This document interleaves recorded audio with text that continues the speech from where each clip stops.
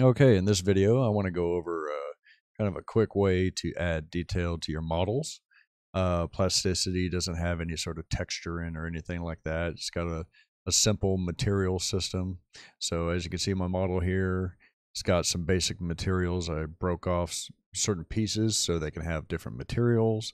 But, you know, it also needs like tail markings and a bunch of other things. So that's where this little technique will come in handy for you. You can add decals or stickers in a sense to your model and it looks pretty good and it actually renders out really nice in Blender and I'm going to show you real quick how to go about it. So let me click on my little decal folder. I've got a whole bunch of them already made and as you can see I got tail markings, numbers, you know, I even got uh, these little skull and crossbones here showing how many kills he has, whatever, what have you and uh, it's really fun and easy to do this. Um, you can make most of this inside plasticity, like the star right here. I made it all inside here, just lines and curves and trimming them and stuff like that. And all you're doing is projecting it to the surface. So let me show you how I go about it here. So let's uh, dive into the curves that I use the projections. So as you can see, here's all the different curves I use to project all the different markings and decals throughout the model. So some, like I said, like these guys here, the tail back here was all done inside plasticity. Didn't have to exit the application. Um, to get the very fancier ones, like uh, these particular numbers here, this particular font, is not available inside the program. So I had to export it out of uh, Adobe Illustrator. So, and bring it in as a DXF file. Now, Studio version and Windows version is the only ones that can do this, that can Im- that can import those files. So if you have the Indie version or on Mac or Linux, you're not going to be able to do that do that at this time. But like I said, you can create these uh, inside the program. So let's hop over to uh, Illustrator. I need to get another graphic to put on the other side of the plane. It's kind of barren here. Okay, so I'm going to show you that part real fast. So I need uh, this logo here, the U.S. Navy. So right now it's just uh, set up as a font. Um, so what I need to do is expand it, break it down to its individual components. We don't need the fill. Okay, and then ungroup it. Now it's all the individual pieces there. And I need to quickly uh, get rid of the fill. You don't want any fill. So all you're doing is just selecting just the curves. That's all we need is the curves. So if we go up File and go down to Export As, and I'm just going to call this Navy because that's what it is, a Navy Corsair from the 1940s uh, also marine and all that. So, and I'm just going to change it to millimeters, change it to one. Uh, scale is not really 100% important because I don't have meters in there, so I'm just going to do millimeters for now. And then click OK. So created our DXF. So now I can go into plasticity. I could do import append. And let's go find Navy. Navy, DXF. Open. Dialog will pop up. You won't see anything just yet. And go ahead and click on all these little operators here. Uh, the first four, heal, heal, compute, and merge. This should uh, correct anything that's goofy about the DXF because it's very finicky. Click OK, and boom, there it is. So I'm going to bring him up a little bit. Bring them over. Okay, let's start rotating him around.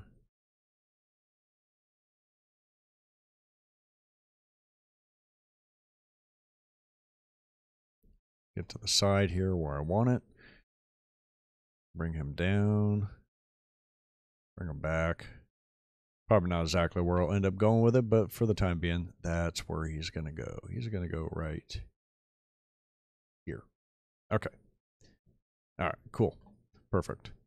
So now what I want to do, I want to make a copy of what I want to project it to. So we're going to just click the two faces that it's going to project to, Shift D, and then hold down Alt and Shift. Select your text there. For some reason that one is not coming, so Shift. Okay, I got them. All right, period. Good. All right. So now let's select our navy again. Just going to select it that way. Get ourselves oriented just right, and we're going to do Shift I, and then select our part. And there we go, project it over nicely. So I can hit period again. Actually, I'm just going to deselect, deselect. All right, so now let's see if I can select that sheet there. I'm going to do Control 3, and what we're going to do is we're going to offset it just ever so slightly. So I'm working in meters here, so 0.0003, which is about 0.3 millimeters if you're working in millimeters. Okay, that's not going to cut it. Let's do Control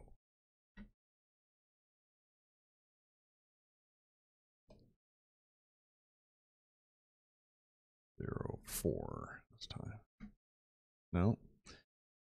So we keep, we're going to keep on doing this until we don't see any of that underside there. We're almost there. Seven. Just about. Just a hair more. Typically 0.0003 works pretty good, but this time not so much. Okay, it's happy now. All right.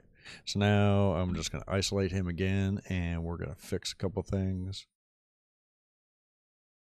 Select that, select that, and shift backspace. Boom, gone.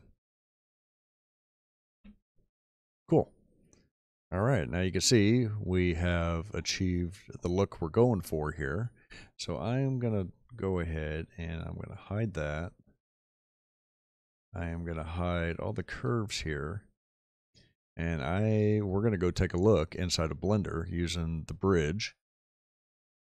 So I already got a scene set up here. Just hit in on your panel there. We're going to connect to plasticity. And then all we have to do is refresh. Only visible. That's what we want. And give it a second to compute and boom, there she is. Everything has flown over there. I'm going to go ahead and just do the body real quick while I can see everything. I'm just going to assign some pre-made materials that I already have.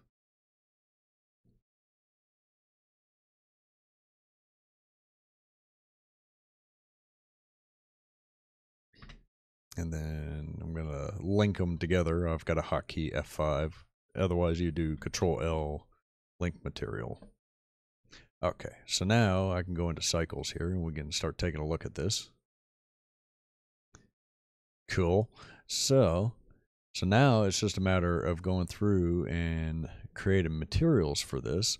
So this one and this one, nope, not that one. It's going to be, I already have some pre-made ones here. And always got to link them together. Be nice if I didn't have to do that here. So go over here. We can see our U.S. Navy on the side here. But let's zoom in here and you can kind of see. Deselect it. As you can see, for this particular one, you can see that the offset it was a little extreme, so you can see it just ever so slightly. But if you come back to like this guy here, you can barely see it. So from a distance, it's going to look pretty good. So my thought is this is a quick, easy way for for you to get decent looking, quick decals, and you can uh, make your model look you know kind of cool for a quick presentation, and then down the road you can texture everything up nice and neat. So but that is basically it for this one. Uh, hope you learned something, and we will definitely catch you in the next video.